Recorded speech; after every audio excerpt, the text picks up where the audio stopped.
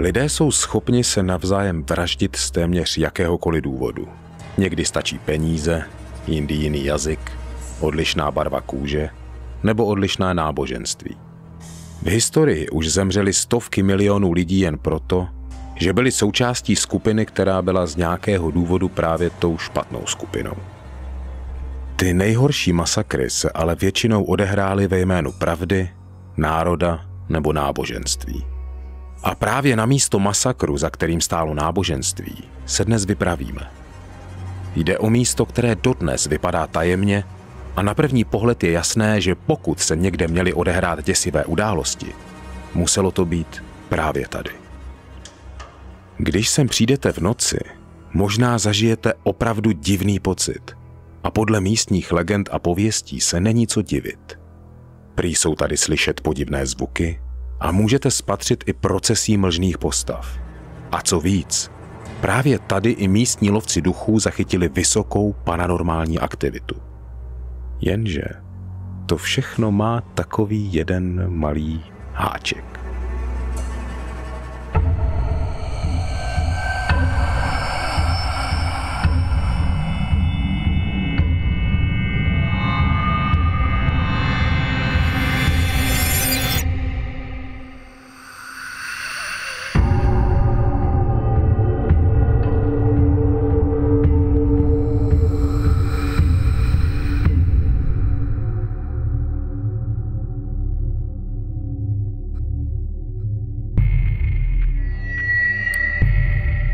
Na nejvyšším místě Kutné hory najdeme zvláštní památník, který připomíná hned několik událostí.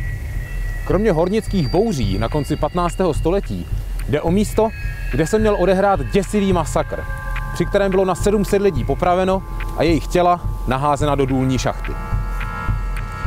Pojďte se s námi podívat, jak se takzvaný kutnohorský masakr opravdu odehrál a hlavně kde se odehrál. Někdy se totiž památníky, i desky na nich, mohou mílit.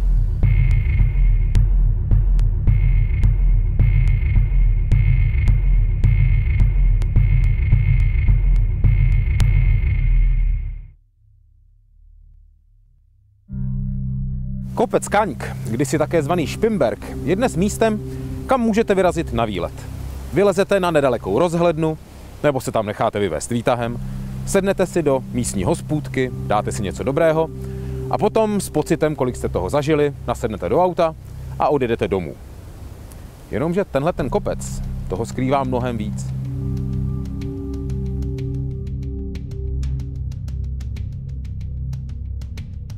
Pokud bychom se mohli podívat do středu tohoto kopce, potom bychom našli celou řadu středověkých důlních děl.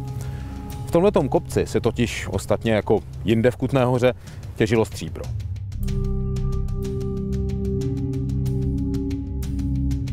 V celkem 15 propojených štolách bychom dodnes našli zbytky hornických nástrojů a další připomínky těžby. Ale také bychom tam měli najít na 700 lidských koster. Svědectví o tomto nálezu nám dává mimo jiné následující text.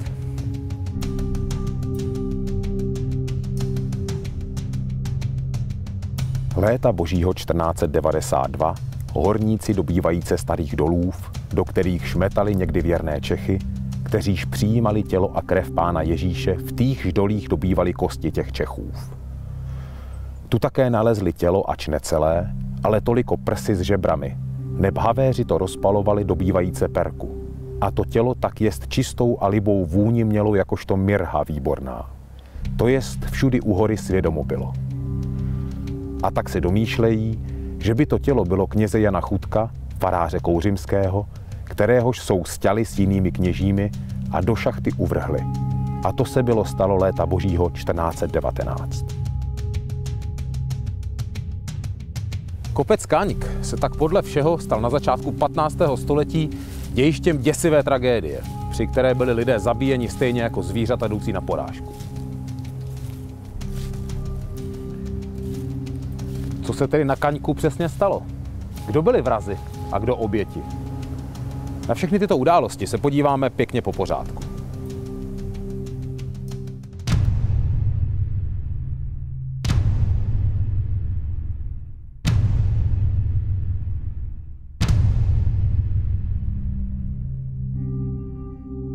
Na začátku 15. století vrcholí ve velké části Evropy nespokojenost s katolickou církví.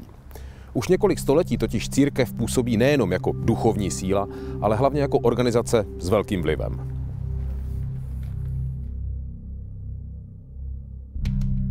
Bez požehnání církve se neobejde vlastně žádná oblast lidské činnosti. A pokud jste si znepřátelili nějakého církevního představitele, byli jste ve společnosti vlastně odepsaní. K tomu se někteří kněží stále více spronevěřují původním myšlenkám víry a pokory a hodnoty filozofické mění za hodnoty ekonomické.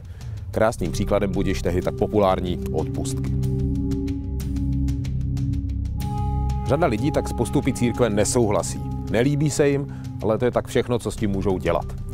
Původně jde především o intelektuály, kteří měli blízko ke světským mocenským kruhům, tedy přesně vzdělanci, jako byli Jan Hus, Jeroným Pražský nebo Jakubek ze Stříbra, kteří se nechali inspirovat reformními myšlenkami anglického filozofa Johna Wycliffa.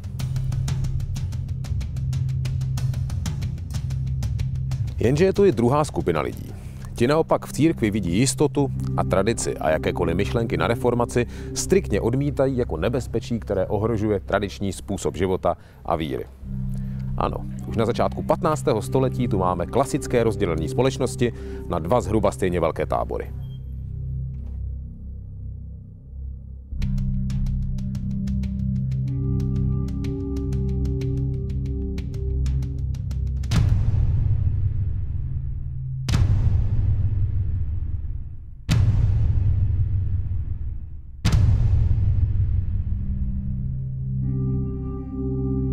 Celá situace mohla klidně skončit tak, že na sebe budou oba dva tábory chvíli nadávat, pak je to přestane bavit a bude zase klid. Jenomže to by nesmělo dojít k upálení Jana Husa a Jeronýma Pražského, tedy dvou ze tří hlavních propagátorů církevní reformace. Právě jejich smrt se stala tou pověstnou poslední kapkou a začala pěkná mela. K původním husovým myšlenkám se začaly postupně přidávat další, jako například přijímání podobojí a s tím spojený symbol kalicha. Lidé tak získali nejenom myšlenky, kterým často příliš nerozuměli, ale konečně i jasný symbol. A jakmile máte symbol, tak už máte za co bojovat. A tak se mezi sebou začali mlátit. A přesně to se stalo i tady v Kutné hoře. Kutná hora byla tehdy, podobně jako většina ostatních měst, čistě katolická. Ale právě tady byl ten moment víry možná ještě silnější než kde jinde. Většinu obyvatel tehdy tvořili horníci, kteří pracovali v takových podmínkách, že vlastně mohli přijít o život každý den. Práce v často nezabezpečených úzkých štolách s minimem osvětlení a na dnešní dobu s vlastně velmi primitivními nástroji mohla přinést zajímavé výdělky, ale mnohem častěji přinesla spíš smrt. Není se tak čemu divit, že právě horníci měli své svaté v obrovské úctě a nedali na ně dopustit. Konec konců kostel svaté Barbory, patronky horníků, který dodnes Kutné hoře vévodí, je jasným důkazem toho, jaký důraz tady byl kladen na víru. U horníků zkrátka platilo, že na svaté se prostě nesahá, protože co kdyby náhodou. A teď si představte, že se v takhle silně katolickém městě objeví skupina lidí, kteří začnou výrazně brojit proti katolické církvi.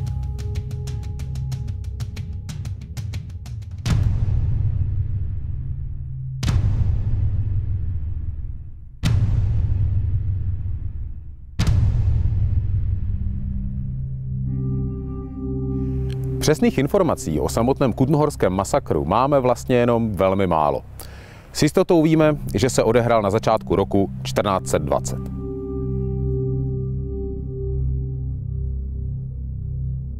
Za pachatele masakru jsou podle textů označováni papeženci, v některých případech Němci.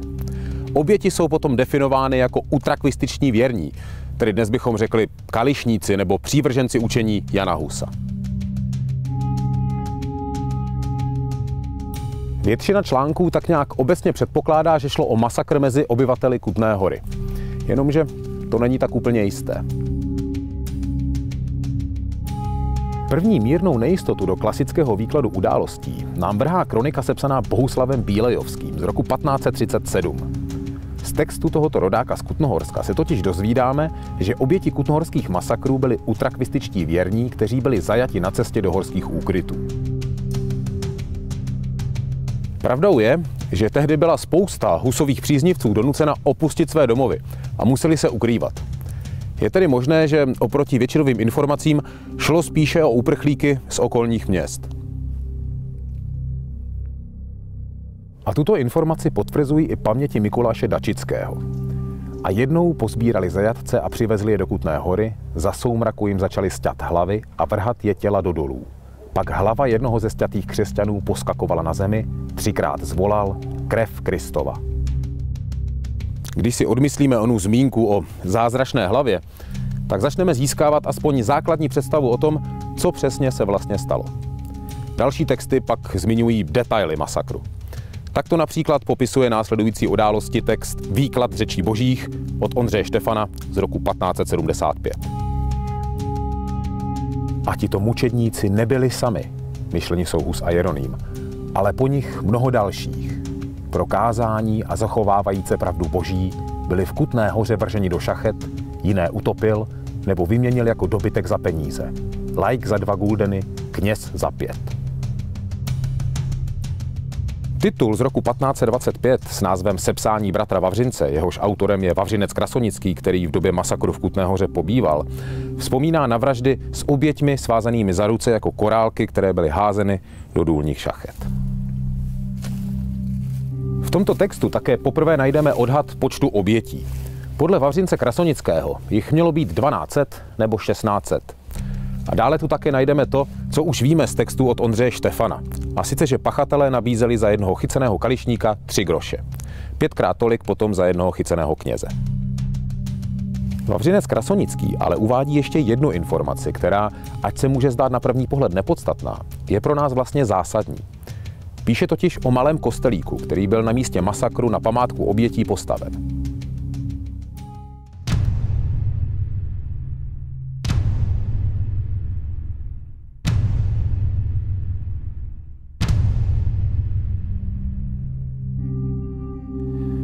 Teď si možná říkáte, proč je zmínka o kostelíku natolik zásadní. Vždyť kostelů byla v historii postavená a pak třeba opuštěna nebo zbourána celá řada. Tak proč by se nemohla stejná historie odehrát i tady, na kopci Káňk?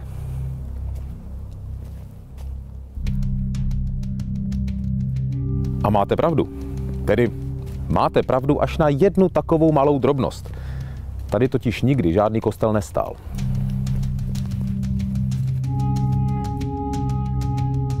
Zdejší empírový památník v dorském stylu nechal v roce 1814 postavit hrabě Jan Rudolf Chotek. A ano, nápis na desce opravdu odkazuje ke kutnohorskému masakru. Hrabě Chotek se totiž domníval, že k masakru došlo právě tady, na Kaňku.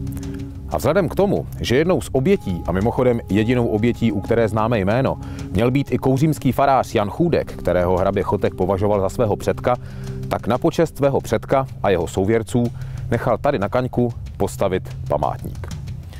Bohužel v tomto případě se pan hrabě zmílil hned o několik kilometrů.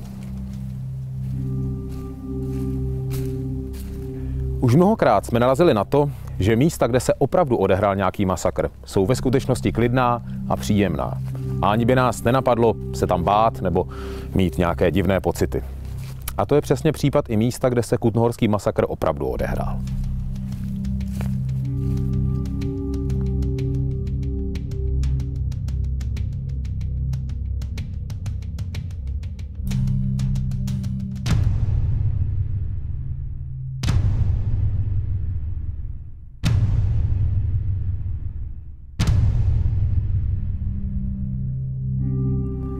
To pravé děsivé místo tak nakonec najdeme tady nedaleko atletického stadionu, mezi obytnými domy, uprostřed poklidného parčíku. Kostel zasvěcený svatému Martinovi už tady dnes nenajdeme a tak masakr připomíná jenom památník schovaný mezi stromy. Představa, že tady, kde si dnes hrají děti, kdy si umírali lidé, nám může připadat zvláštní, ale ono je to vlastně v pořádku. Jenom těžko bychom totiž u nás našli kilometr čtvereční, kde nikdy nedošlo k žádné děsivé události nebo tam někdo nezemřel a považovat všechna tato místa za striktně pětní prostě nejde. To bychom totiž neměli kde žít. Na kutnohorský masakr bychom ale ani tak neměli zapomenout. Nejenom proto, že šlo o vraždění husitů. Oni husité po pár letech Kutnou horu dobili a povraždili pro změnu katolíky. ale proto, že násilí páchané kýmkoliv a z jakéhokoliv důvodu je prostě špatné. A místo masakru, tedy to pravé, to je vlastně dokonalou ukázkou toho, co říkáme vlastně vždycky.